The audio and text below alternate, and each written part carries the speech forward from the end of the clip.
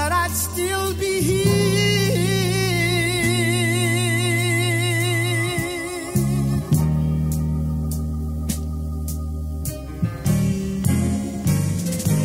I've told you